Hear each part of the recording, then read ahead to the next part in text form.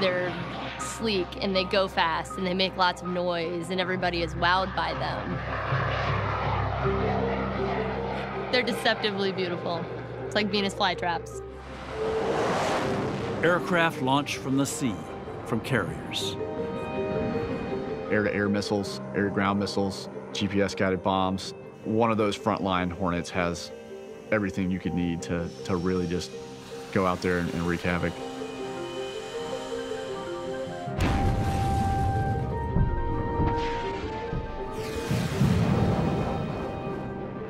These aircraft have left their mark on America's history in ways that few of us know. They had no right to win, but they did, and in doing so, they changed the course of a war. I lost 22% of the guys in my squadron. 22%, you never forget that. This film follows young pilots today as they learn their craft and tells the sweeping history that they are heirs to. I watched every World War movie I could get my hands on as a little kid. The history was one of the things that really drew me to this life. These were people who were willing to literally bet their lives to go ahead and bring this technology and this new kind of warfare to the forefront. Back in the early 20th century, this is somewhat psychotic. You are a part of a lineage of people that have been witness to the biggest events of the 20th and now 21st century.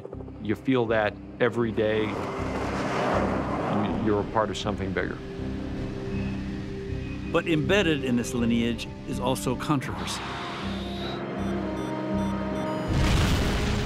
Again and again over its hundred years, this craft has been called into question as impractical, extravagant, obsolete. Now, today, a new round of doubts and reason to wonder if this generation of aviators just might be America's last. This is the story of a weapon that changed the face of war.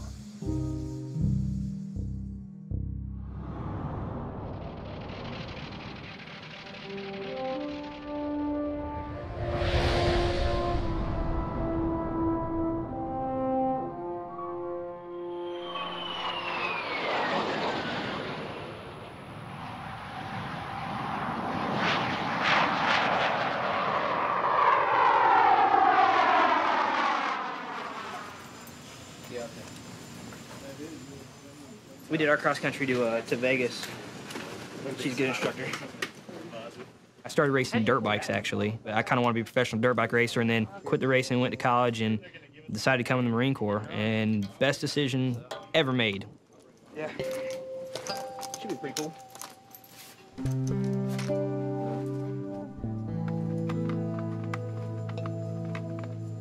Cool. Y'all following him out? Good luck. Thank you. My mom used to take us uh, to an airport nearby where we grew up, and you could sit out close to the flight line and see people taking off and landing and stuff, and saw planes flying over, um, like this guy.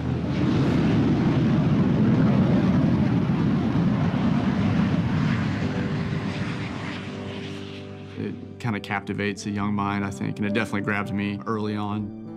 I tell a student, you know, hey, what am I going to teach you how to do here? I want you to learn how to taxi, take off, go out and do something, and you're going to come back and land. And you're going to do that on land, and you're going to do that on a ship.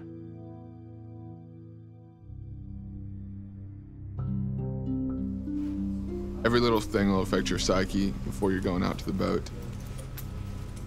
You're going over the entire flight 500 times in your head long before you even get there.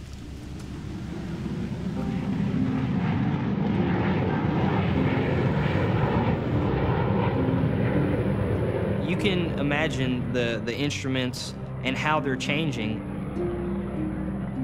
In your head, you can imagine the airplane accelerating faster. we're gonna fly out there. First time you see the carrier that you're going to, it'll be about 15 miles out, and you realize you're gonna be landing on there, stopping on what looks to be about a little drop of oil in the sea. I think universally, the first time you roll up behind the boat, uh, oh crap, is what comes to people's minds. Uh, everybody says it looks like a postage stamp. Uh, the first time you go overhead, uh, you look down and think, well, there's no way. They, they made a bad mistake. Part of the, the mental preparation is, is trying to think, okay, I'm gonna, I'm gonna see it. It's gonna look different than what I imagine. Uh, it's gonna feel different than the simulator. I'm gonna freak out and I'm gonna keep flying.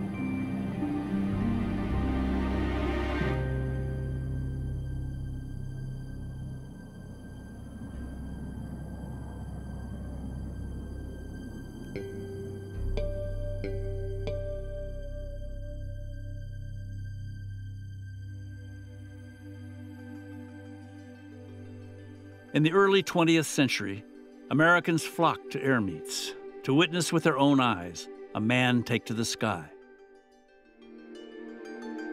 In an age of innovation, nothing seemed more wondrous than the airplane. These air meets would draw people from uh, all walks of life. It was real popular because here they have these aircraft flying, buzzing around oftentimes there were accidents which were almost as appealing as the uh, flying itself.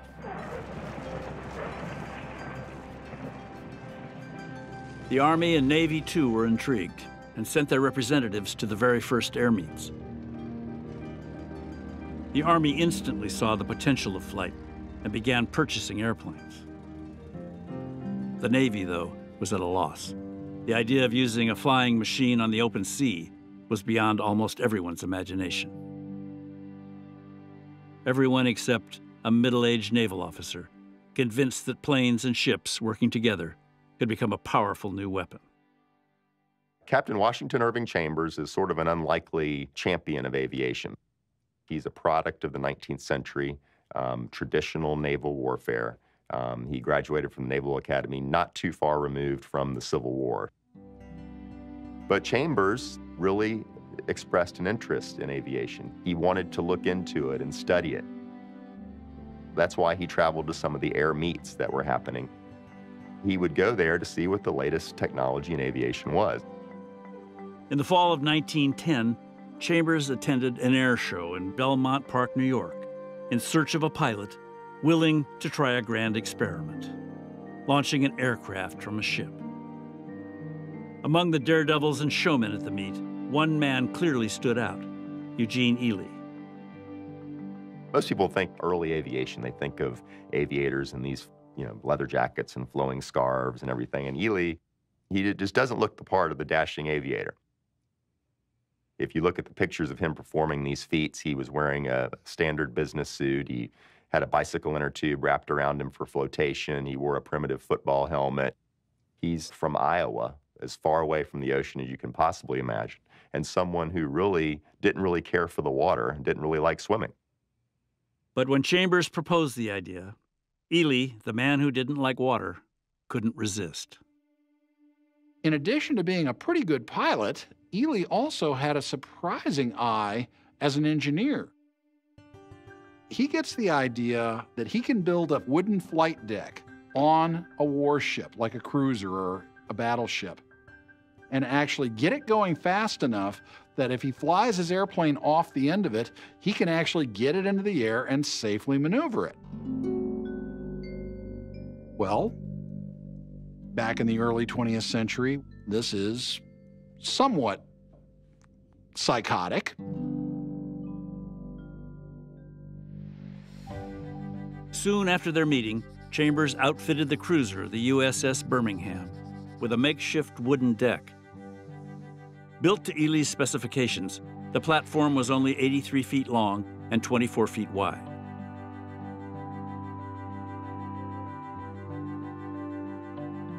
On the morning of November 14, 1910, rain squalls filled the sky.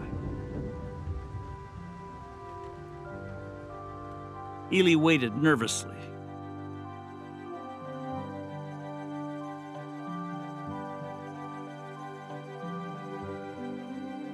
Finally, at 3 o'clock in the afternoon, the weather cleared. So Ely climbed aboard and revved up the engine as much as it would go. And as he went over the edge of the deck and out over the water, he actually descended a little bit quicker than he thought. He thought he might crash, and the wheels actually grazed the water as he took off from Birmingham. But um, picked up enough flying speed that the wind went beneath the wings, developed some lift, and he was able to take off and fly to shore. Chambers was pleased, but he knew the hardest part was yet to come landing a speeding airplane on a rolling ship. Again, Chambers relied on Ely's practical know how. Ely was facing the prospect of flying into the back of the smokestacks of the ship, so he had to come up with some way of stopping the airplane. So what they did is they had sandbags connected by ropes, and these ropes were strung across the wooden deck at a series of intervals. And there were a series of hooks beneath the aircraft, and as these hooks snagged on those ropes, the weight of the sandbags there would bring the plane to a stop as it hit the deck. The weather on January 18, 1911 was cold. Ely flew from an air meet to the USS Pennsylvania, 10 miles offshore. Eugene Ely made his approach to the cruiser Pennsylvania and successfully got into what is now referred to as the proper glide slope.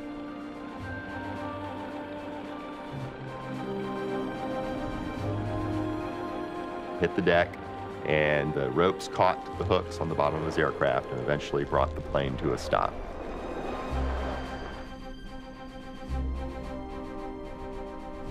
And it was just uh, an amazing event. No one had ever seen anything like this before. I mean, you have to think at that time, you're only about seven years removed, eight years removed from the Wright brothers' flights. And here you have sailors seeing an aircraft land aboard their ship. It was something that was, you know, really, one, observing it must have been an experience to remember. And the amazing thing is, the metaphors laid out by Ely of the flight deck, of the arresting gear, of the tail hook, are things that we still use a hundred years later. The man was a visionary. But Eugene Ely would not live to see the magnitude of what he'd achieved. Within months, he was killed in a plane crash during an air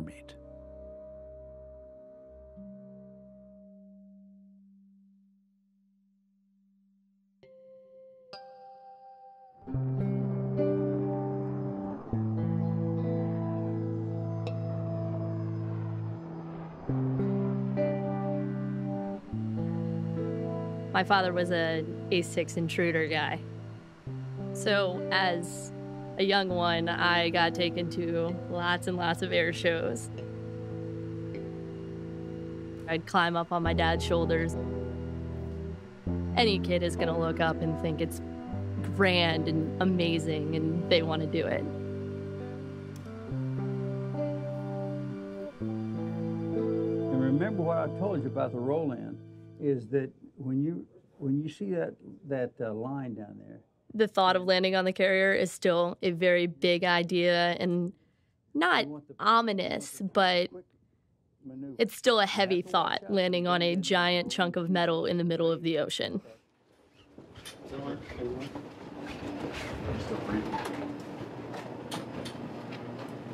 But yeah, second to last flight for uh, head off to the boat on Monday.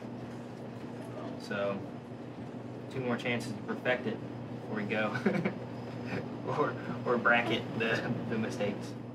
When you're preparing to go to the carrier, all the students will grow a mustache. It's kind of maybe a little bit of a badge of courage around the squadron that you're far enough in the program that they're going to let you go to the boat. Some of the fine young gentlemen going out to the boat are not quite as uh, gifted in the mustache growing department, I guess. Um, some of them look exceptionally creepy. I'm not a mustache guy, but And it doesn't help that my mustache is blonde, so uh, it's not coming in too great, but. Unless you're a very special girl, you are not going to grow a mustache. But I have every intent of either finding like some like stick-on mustache or I'm just gonna draw it on every day because you know you gotta you gotta run with the guys. Oh, have you seen the one with the Russian guy? I mean, when I'm at work, I'm one of the dudes.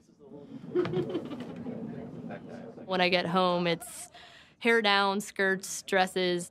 I like being a girl, and I've found myself to end up being more feminine now than I used to be because it's almost like recharging the estrogen levels when I get home.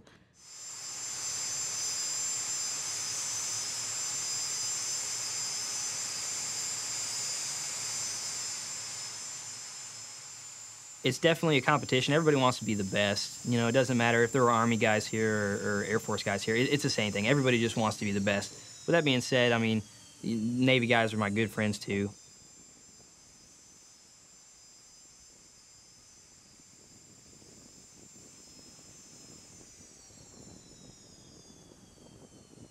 There's always a, a little bit of a rivalry between the Navy and the Marines. Jordan and I are pretty good friends. We've gone through all of flight school in Kingsville together. We classed up back 14 months ago and pretty much been flying together. Yeah, me, me and Rob, we started ground school day one in this building together and went through everything pretty much together. 107, that looks good. Uh, probably a little. Anytime I was having issues, I would go talk to Rob, and Rob would get me straightened out. So and, uh, we can keep working at Joker, but at Bingo, no kidding, it's time to knock it off and, and point toward home. We're creating a tactical jet naval aviator Certainly, most of the aviators coming through our program are likely to see combat, and yes, they'll be ready.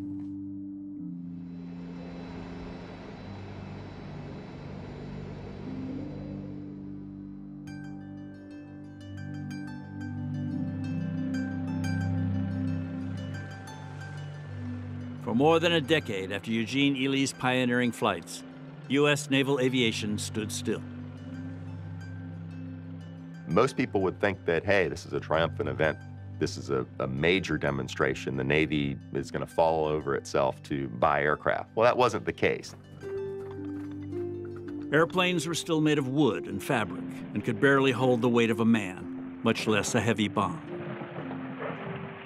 But from the moment he witnessed Ely's plane land on a ship, Captain Washington Chambers could imagine the future.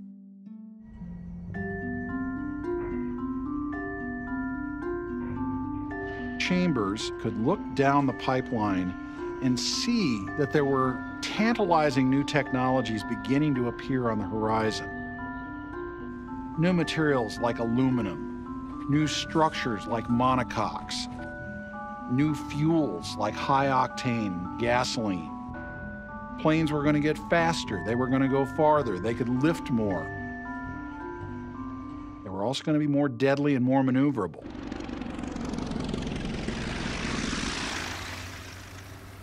By the end of World War I, the airplane had become a part of modern warfare.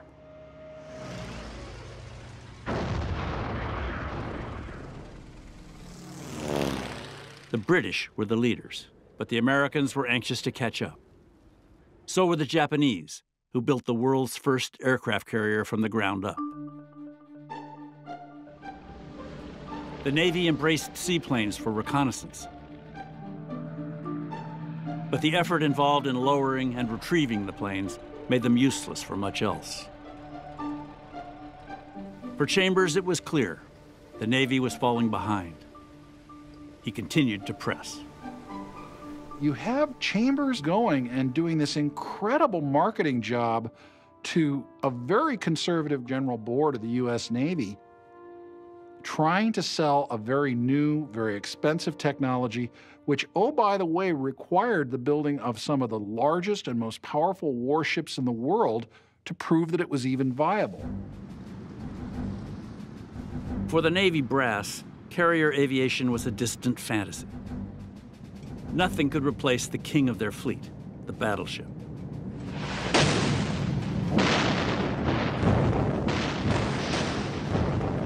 Up to this point, the war plans of every nation in the world still envisioned big gun battleships 8, 10, 12 at a time, lobbing one ton shells at each other until one side or the other gave up, and that would determine the fate of nations. The final push towards carrier aviation came unexpectedly. Not from inside the Navy, but from an inter service rivalry fueled by a brash Army general named Billy Mitchell. Mitchell had been in charge of all America's airplanes in World War I, an experience that forever changed his vision of war. If you look at World War I, it was just a horrific experience. You had trench warfare, people killed by the thousands and hundreds of thousands.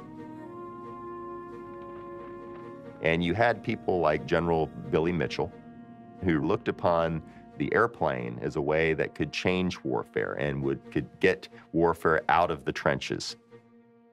Mitchell's determination matched his arrogance. He wanted to consolidate all military air power under one service, an independent air force under his command. Mitchell set out to do something big, something never done before. If the whole world believed that airplanes could not kill ships, well, then he would prove them wrong. In July of 1921, he orchestrated a show for decision makers in Congress.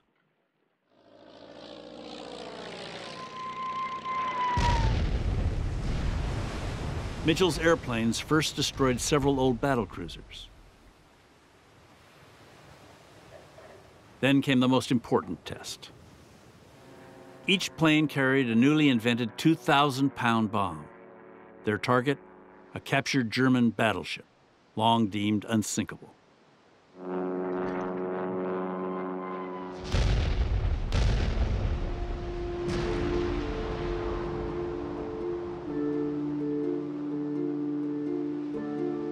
This was a triumph for Billy Mitchell, and it achieved the exact opposite of what he wanted. It triggered in Navy leadership a decision to look at hey, we have this air power advocate, General Billy Mitchell, and if we don't embrace aviation and look at aviation as an adjunct to the fleet, then we may have an independent Air Force on our hands and also may have a Navy that's greatly diminished.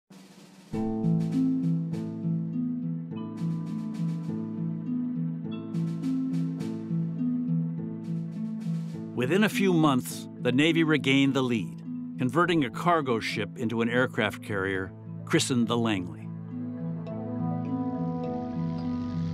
The age of American carrier aviation was born. The Langley operated for two years in an experimental role, testing aircraft and training pilots.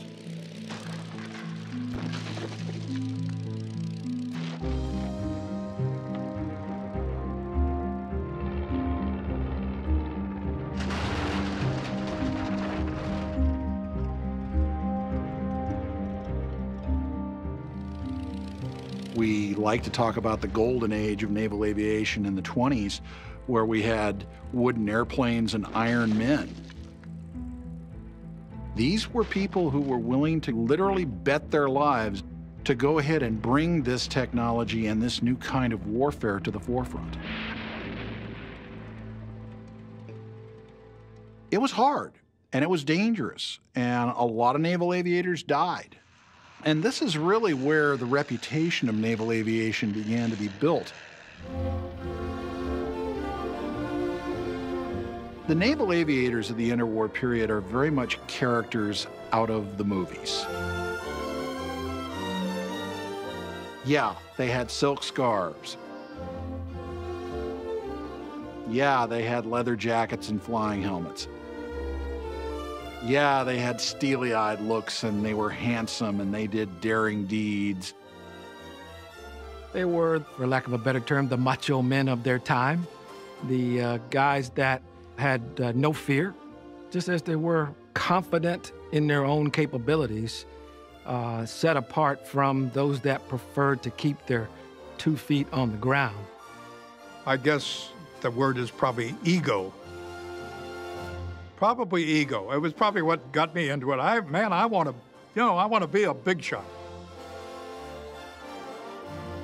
The image of a naval aviator was a red convertible, top down, with a beautiful blonde alongside. Who could want anything else?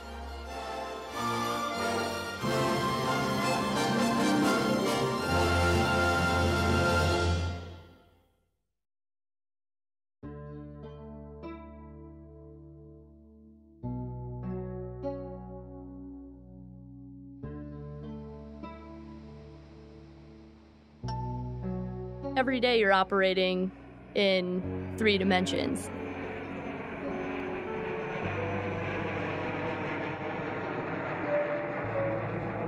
You don't have time to, to we call it breaking out the book and read and see what the problem is and fix it. You just don't have time to do that. So if you don't have things memorized cold, uh, you can't put them into action quick enough.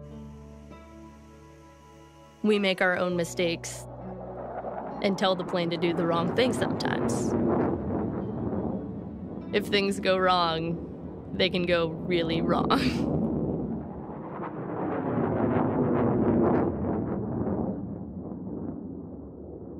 some days you're you're just on, some days you're not. Hopefully we'll we'll peak uh, when we head to the boat and and have a good day. We're practiced, we're you know well rested, we're ready to go, and we're at the the top part of the game, you know, close to being as as good as we can be.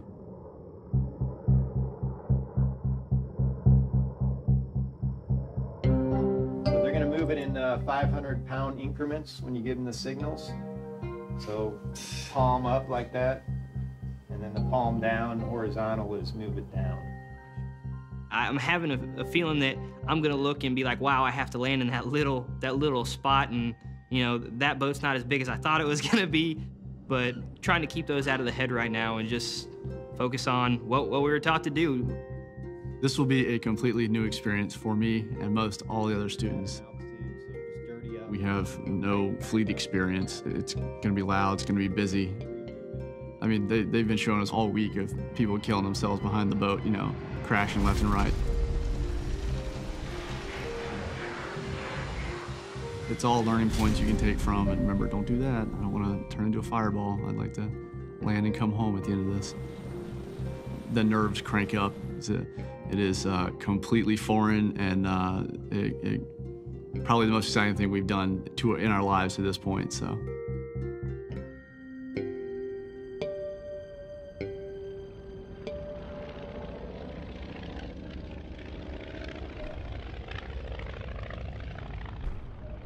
In the mid 1920s, the Navy had just one small carrier, the Langley.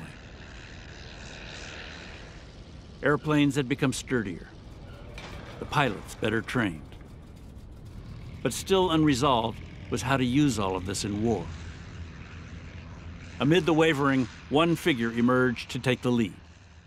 His name was Admiral Joseph Mason Reeves. Every move of these naval aircraft has a definite purpose and has the single aim of achieving a fighting fleet. His nickname was Billy Goat Reeves because he had this beard and goatee that he wore. He's a hard charger, a football player at the Naval Academy, studied tactics, and he is a convert to naval aviation. Reeves chafed at naval doctrine that confined planes to reconnaissance.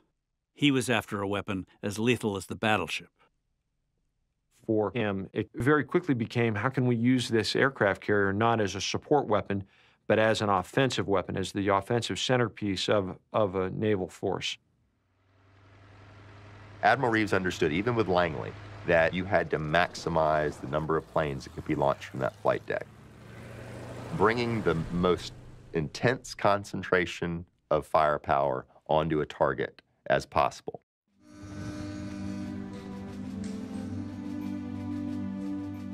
In 1928, Reeves got a platform that matched his ambitions.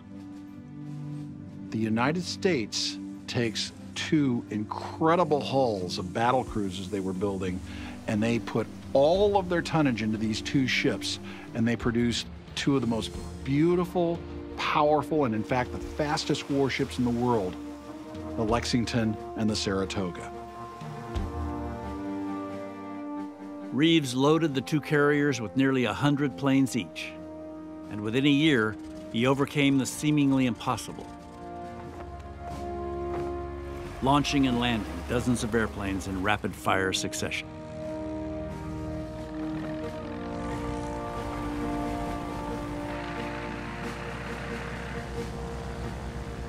It's a jigsaw puzzle. It's like baseball, it's a game of inches.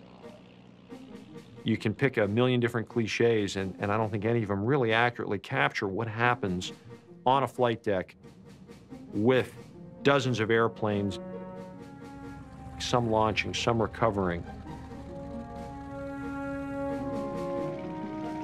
There was this constant ballet going on, choreographed by the deck department, the air department, literally hundreds of young men using their bare hands and muscles to push 90 or 100 airplanes.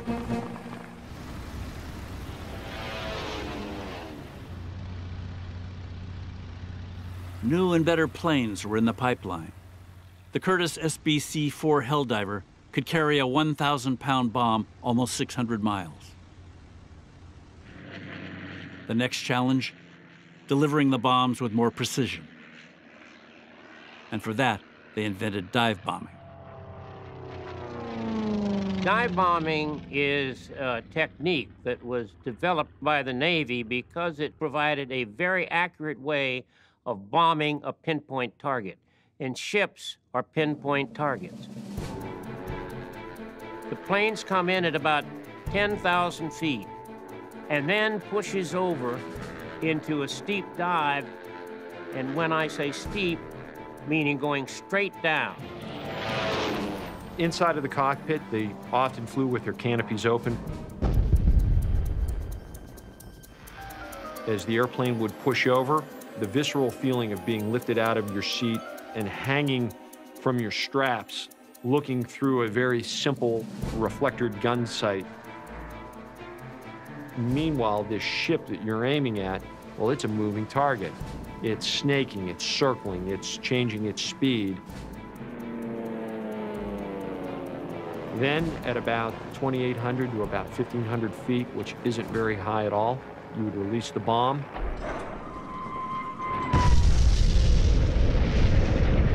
And immediately pull in excess of anywhere from four to six or seven Gs uh, to come out of that dive. Naval aviation had gained power, reach, numbers, and precision, but was still untested in battle.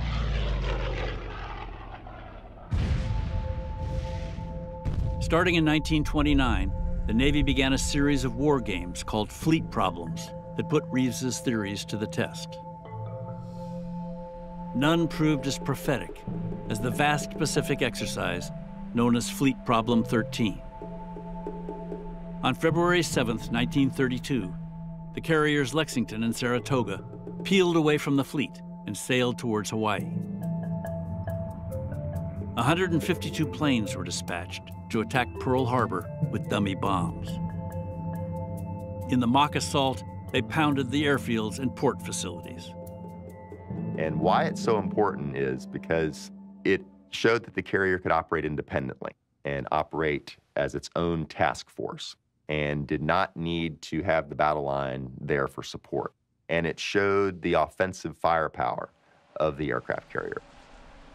The Navy minimized the risks of an attack by carriers. For the next decade, the old strategy stayed largely unchanged. These are tough times. This is the Depression. We had existing battleships. They were there, they were paid for, they were we knew exactly how to employ them, and they worked. But Fleet Problem 13 did not go unnoticed. Across the Pacific, the Japanese studied it closely.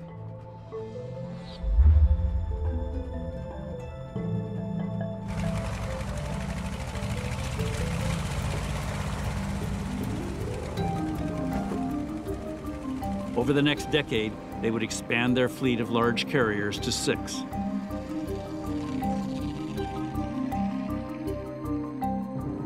They would build the Zero, a state-of-the-art fighter plane. They would train 3,500 naval pilots.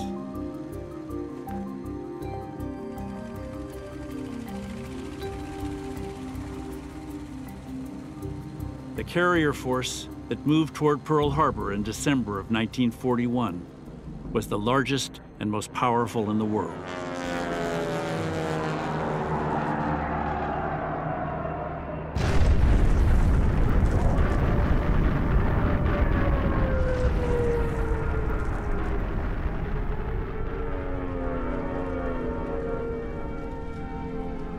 In a bitter irony, Pearl Harbor would stand as the first real world proof that carrier aviation was the next super weapon.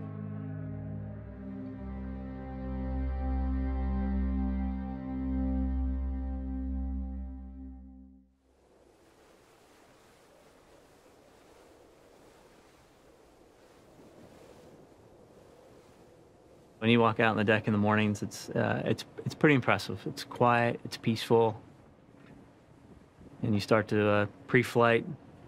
You can feel the ship starting to wake up. You can hear the surf going underneath the hull. You can look out in the horizon, see the clouds, and you just breathe in that fresh air, and you go, "It's a good day to fly."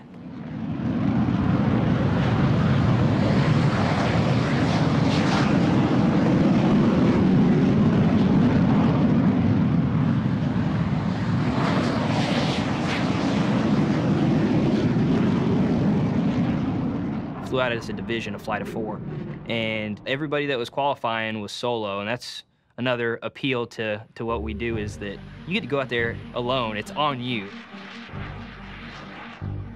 Everybody says that your reputation, it doesn't matter how well you fly in the air, your reputation that everybody hears about is how well you land on the carrier. And the, the formation part of the flying was really shaky.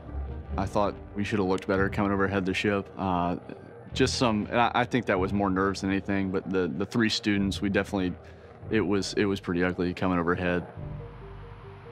To, to see that piece of American territory out there in the middle of the ocean is awesome.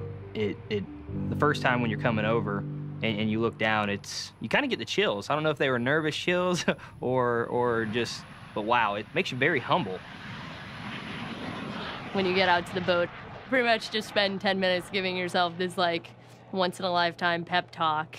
The next thing you know, towers calling you down to get set up for landing.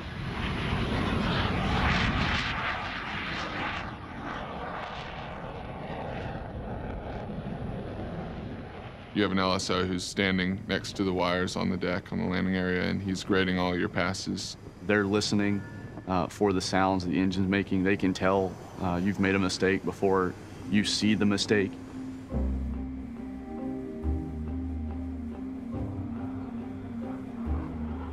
Rolled out, ball was a little high to begin with, and uh, to keep it safe, bumped up the power a little bit.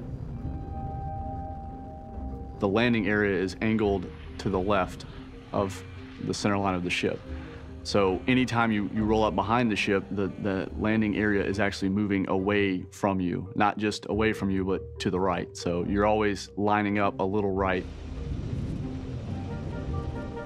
You'll see the plane kind of undulate. Uh, you'll see black smoke shooting out of the exhaust because you're, you're in there fighting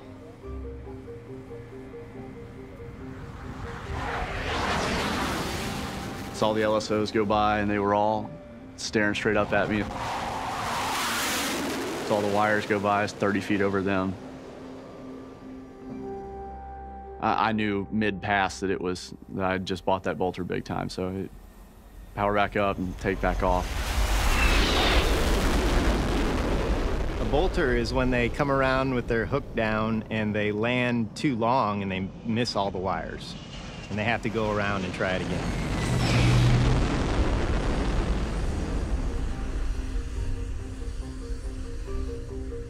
The first trap was kind of a, a rough pass for me. Rolled out, center line. Believe it was a good start to a little high in the middle and trying to chip it down, trying to chip it down to a little high at the ramp.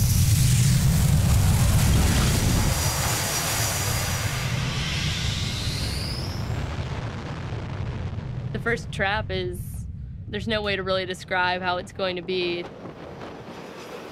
It's this screeching noise.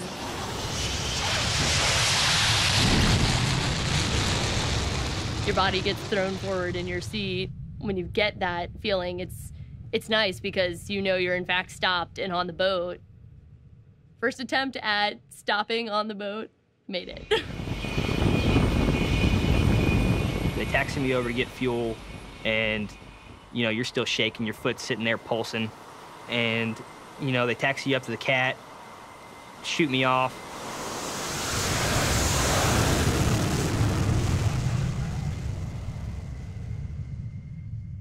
Everything goes dead silent. My first initial thought was that my engine just failed. I had to realize that I was still climbing and my airspeed was increasing to realize that I'm, I'm safely airborne. Coming down a high start and trying to chip it down while remembering the first pass, which was my fly through down for the one wire. Didn't want to do that. Kept too much power on it. And I forgot to put my hook down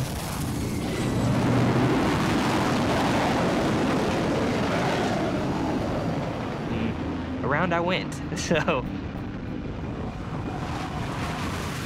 second day, the fangs came out a little bit more. I guess the cockiness came out maybe. Jordan Meredith, one of my good buddies, he had a better second day, but it ended up being, uh, I edged him out just by a little bit.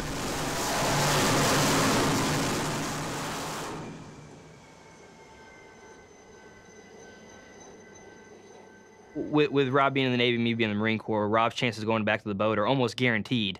I mean, that's all the Navy jet pilots go to the boat, whereas Marine jet pilots don't necessarily go to the boat ever again. We've pretty much been flying together. We've gone out to El Centro to do bombing together, and obviously we went to the carrier together. So it'll be uh, tough. He's a Marine, which means that odds are I probably won't see him again in my career.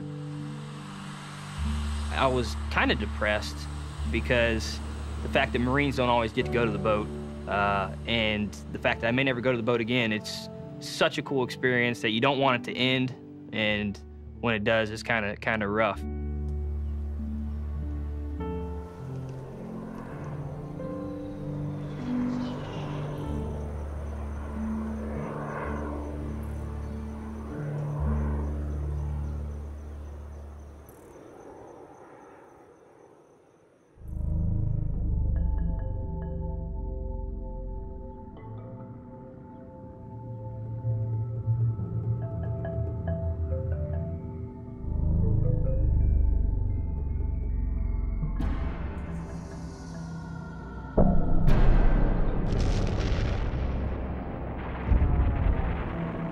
Devastation at Pearl Harbor was the work of carriers. 350 Japanese planes launched from hundreds of miles out at sea. In just two hours, they wiped out most of the battleships of the Pacific Fleet. It was a masterstroke. Japan had not been stopped, and there were some people in the United States who believed Japan couldn't be stopped that eventually Japan would not only control all of China, the Philippines, the Dutch East Indies, but the northern coast of Australia, possibly even India. In the United States, the loss of the battleships upended every plan for how a war in the Pacific could be fought and won. By sheer luck, three aircraft carriers had been spared. They were out at sea during the attack you have this bizarre situation that the Japanese attack with aircraft carriers forces the United States into a carrier based naval strategy. It was now up to the U.S. carriers to hold the line against Japan's Imperial Navy.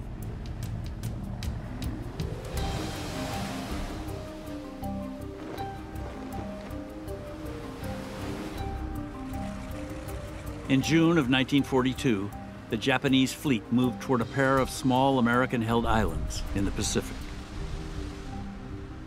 Midway Atoll was just a thousand miles west of Hawaii and strategically important. A threat of invasion was sure to draw a full-out American response. It was designed as a perfect trap. The Americans sortie with about 50 ships.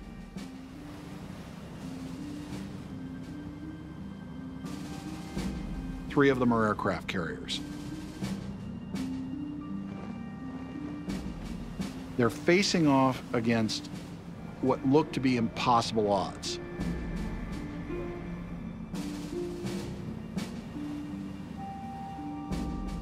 The enemy has vast, vast numbers of ships, almost 200 ships. They've sorted the entire combined fleet.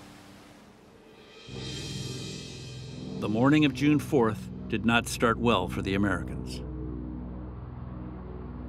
Radar on Midway began tracking 107 incoming Japanese planes. Within minutes, every operational U.S. plane was in the air. The Japanese bombers swept through the defenses.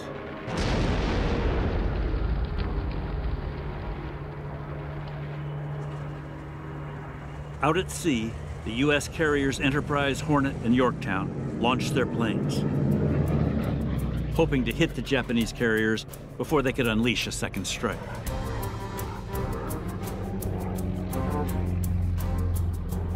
Three squadrons of TBD Devastator torpedo planes reached the Japanese fleet. Flying at wave top level, they were easy prey for anti-aircraft fire.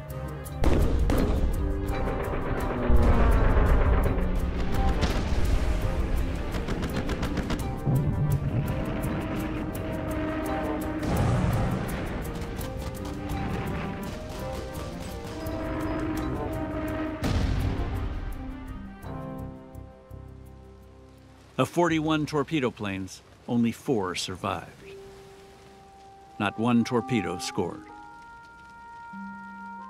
The early strikes that morning, both from Midway and from the American carriers, suffer crippling losses. The casualties were just insane.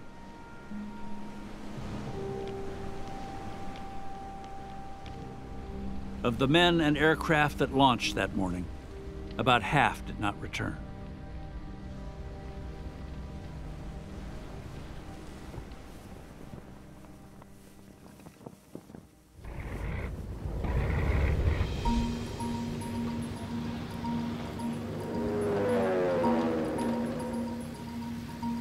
Meanwhile, two squadrons of SBD Dauntless dive bombers launched from the Enterprise in search of the Japanese carriers.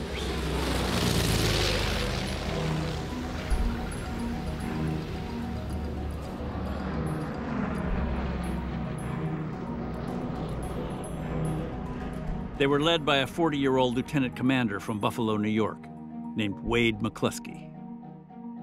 McClusky gets out to the point where he's been told the Japanese fleet will be waiting for you there. Gets out there, Butkus. Nothing in sight. Staring at the vast expanse of ocean, McClusky had to decide whether to return his men to the Enterprise or lead them on a fool's errand. And McClusky decides, well, I'm going to take my force of two squadrons of dive bombers and I'm going to have them follow me on a very methodical search pattern. Now, he has a little problem. He's running low on gas. And more than a few of his pilots are looking at their gas gauges wondering if the old man really knows what he's doing. And then McClusky spots a Japanese destroyer. He figures that Japanese destroyer is going at high speed towards something. I'll bet you that's the Japanese fleet. McClusky followed the destroyer. Approaching from the south, he spotted three Japanese carriers.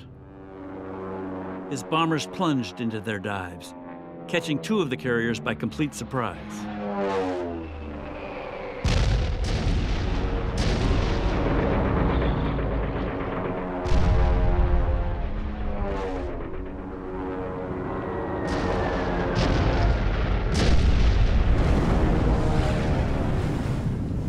Minutes later, a third U.S. squadron stumbled on the scene and attacked.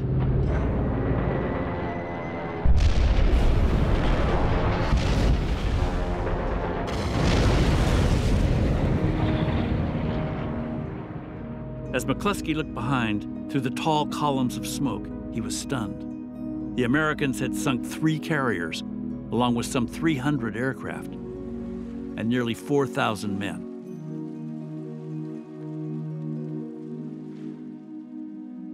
That man And that action took the Japanese Navy essentially out of the war at that moment. The Japanese have gone from an absolute position of supremacy to they never go on the offensive ever again.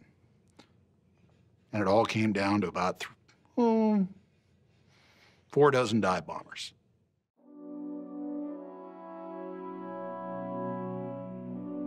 The pilots who followed McClusky that day were ordinary men.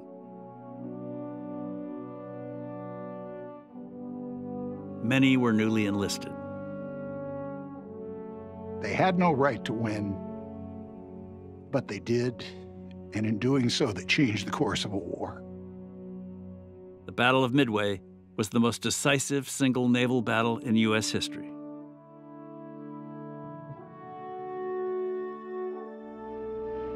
Over the course of World War II, Navy airplanes would provide the dominant firepower in every important battle in the Pacific.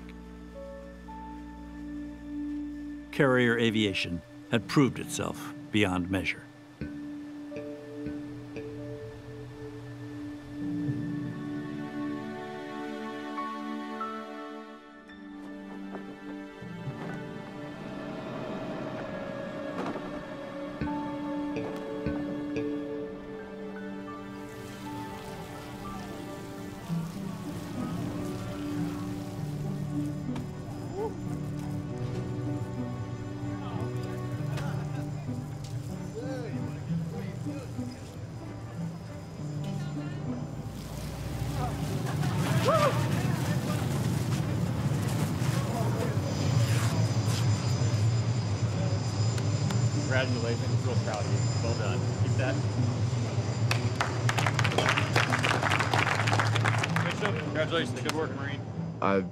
Watched every World War movie I could get my hands on as a little kid. Attack on Pearl Harbor, Battle of Midway. The history has shown that even small carrier forces can bring a lot to bear. The way things are, one person can change history, basically. So it's a it's a very large responsibility. What you got there? Nice set of wings. It's a nice finish to a, you know, a lot of hard work. So, yeah, it's definitely definitely a good time. I let them bask in the glory of it for a day, and then it's like, guess what? The next challenge is ahead of you.